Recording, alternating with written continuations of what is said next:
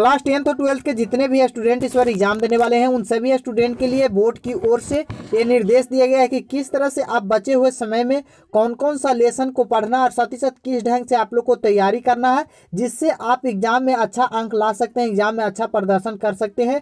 Examiner के द्वारा खुद आप लोग को बताई गई है किस तरह से क्वेश्चन सेट किया जाता है। तो इस वीडियो में लास्ट तक बने रहिएगा, तभी आप लोग को फ़ायदेमंद होगा। वीडियो को लाइक कर दीजिएगा और इसी तरह के रेगुलर एग्ज़ाम से हर छोटी बड़ी न्यूज़ देखना चाहते हैं। तो इस चैनल को सब्सक्राइब करके बगल वाले घंटी को प्रेस कर लीजिएगा। तो चलिए वीडियो को शुरू करते हैं।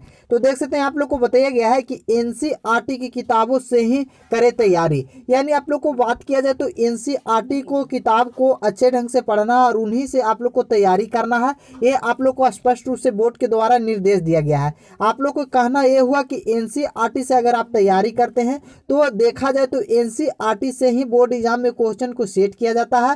टेंथ और ट्वेल्थ दोनों स्टूडेंट के ताकि एग्ज़ाम में अच्छा अंक ला सके, एग्ज़ाम में अच्छा प्रदर्शन कर सके। तो आखिर आप लोग को एनसीईआरटी किताबों को किस ढंग से पढ़ना है, कौन सा चैप्टर को पढ़ना है, कैसे आप लोग को तैयारी करना है, इस वीडियो में लास्ट तक बने रहेगा और किस तरह से आप लोग को पैटर्न इस बार आ रहा है बोर्ड एग्ज़ाम में वीडियो को लास्ट तक ज़रूर देखेगा तभी आप लोग के लिए फ़ायदेमंद होगा।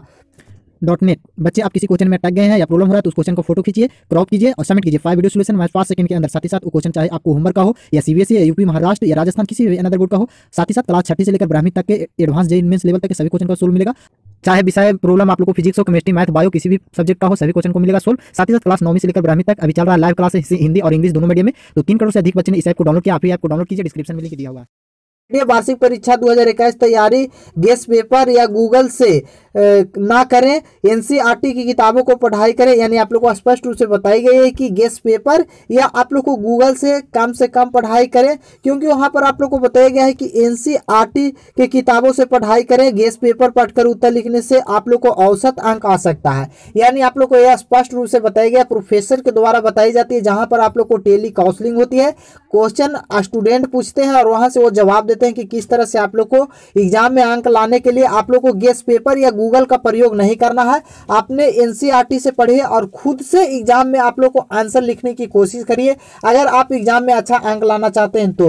अगर आप लोग को गेस्ट पेपर या गूगल से अंक गेस्ट लिख कर आप लोग को क्वेश्चन को एग्ज़ाम में लिखते हैं या उस ढंग से आप लोग तैयारी करते हैं तो एक औसत अंक ला सकते हैं, जिसमें आप एग्ज़ाम में अच्छा अंक प्रदर्शन नहीं कर सकते हैं। इसके लिए आप लोग को बोर्ड की ओर से स्पष्ट रूप से बताई गई है। साथ ही साथ आप लोग को बोला गया है कि गेस्ट पेपर पढ़कर उत्तर लिखने से औसत अंक आ सकता है सलाह हिंदुस्तान कार्यालय, आयोजित इंटर काउंसलिंग में के दौरान सोमवार के शिक्षक, एमपी त्रिवेदी परीक्षार्थियों को दी दी पटना में विश्वविद्यालय के टॉप विभागीय अध्यक्ष आप लोग को त्रिवेदी के मानो तो इस बार विज्ञान के प्रश्नों की संख्या बढ़ी जाएगी। त्रिवेदी ने कहा कि वैकल्पिक प्रश्नों की संख्या आप लोग को इस बार बढ़ा रहेगा। साथ ही साथ की बदलाव नहीं किया गया, लेकिन बसरते आप लोग को देखा जाए तो प्रश्नों की विकल्पों की संख्या बढ़ा दी गई। यानी पहले अगर मान ले पचास ऑब्जेक्टिव प्रश्न पूछे जाते थे तो इस बार आप लोग को दोगुने सौ ऑब्जेक्टिव प्रश्न पूछे जाएँगे, जिनमें आप लोग को पचास प्रश्न को जवाब देना होगा। और पचास पर एक्स्ट्रा में दिया जाएगा। सभी लघु, दीर्घ और सभी सब्जेक्ट में आप लोग को इस तरह से क्वेश्चन में पैटर्न में बदलाव किया गया है, जिससे सभी स्टूडेंट का फ़ायदा यह होगा कि क्वेश्चन अधिक रहेगा और आप लोग को जवाब कम देना होगा। इससे आप लोग को जो भी क्वेश्चन का जवाब आंसर पता है, वो क्वेश्चन को आप लोग आसानी ढंग से सोल्व करके एग्ज़ाम में अच्छा अंक ला सकते हैं, एग्ज़ाम में अच्छा प्रदर्शन कर सकते हैं। उसके लिए बोर्ड ने आप लोग को देखे, बोले हैं कि मोड पेपर ज़रूर देखें। मॉडल पेपर को आप लोग को ज़रूर देखने के लिए बोला गया, जो मॉडल पेपर जारी किया जाता है, जो या उपलब्ध है, जो आप लोग को मार्केट में उनमें मॉडल पेपर को आवाज़ देखें। मॉडल पेपर से आप लोग को फ़ायदा क्या होगा? इसके अनुसार यहाँ पर बताया गया है कि काउंसलिंग के दौरान त्रिवेदी ने कहा कि बिहार बोर्ड द्वारा जारी किया गया मॉडल पेपर यानी बिहार बोर्ड द्वारा जो जारी किया जाता है मॉडल पेपर को टॉपिक प्रश्नों से आएगा, प्रश्न जैसा ही रहेगा, तमाम जानकारी प्राप्त हो जाएगा। उन्होंने छात्रों को बिहार बोर्ड द्वारा जारी मॉडल पेपर को जल्द ही जारी किया जाए। इनके जानकारी के अनुसार प्रश्न पत्र आसान रहेगा। इस बार सभी चैप्टर को बेसिक चीज़ ज़रूर पढ़ें।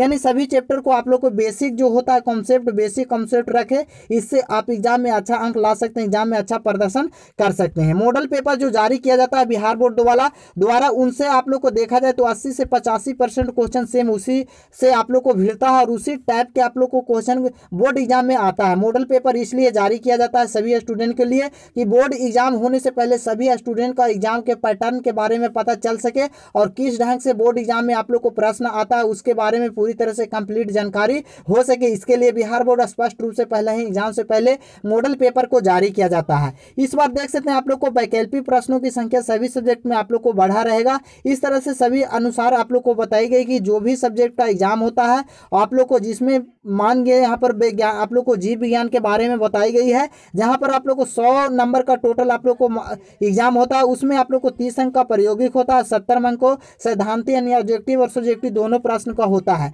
लेकिन आप लोग को जिसमें भी सभी सब्जेक्ट में पचास परसेंट ऑब्जेक्टिव पिछले साल के अनुसार पूछा जाएगा, लेकिन इस बार वैकल्पिक संख्या बढ़ा रहेगा, यानी आप लोग को पचास परसेंट पिछले साल पूछा गया था, पूछा गया था पचास ऑब्जेक्टिव प्रश्न तो इस बार सौ ऑब्जेक्टिव प्रश्न रहेगा, जिसमें पचास गो को जवाब देना है, और पचास एक्स्ट्रा प्रश्न दिया जाएगा। सभी में लघु, दीर्घ सभी प्रश्नों में, ताकि एग्ज़ाम ज़्यादा आप लोग को प्रश्न रहेगा, उससे आप आसानी से कम समय में सोल्व करके आसानी ढंग से आप एग्ज़ाम में अच्छा अंक ला सकते हैं एग्ज़ाम में प्रदर्शन कर सकते हैं। तो इस वीडियो को ज़्यादा से ज़्यादा दोस्तों में शेयर कर दीजिए, ताकि सभी लोग जान सके इसके बारे में और साथ ही साथ एग्ज़ाम में अच्छा अंक ला सके। मिलते हैं नेक्स्ट वीडियो में, तब तक के लिए जय हिंद, जय भारत, वंदे मातरम।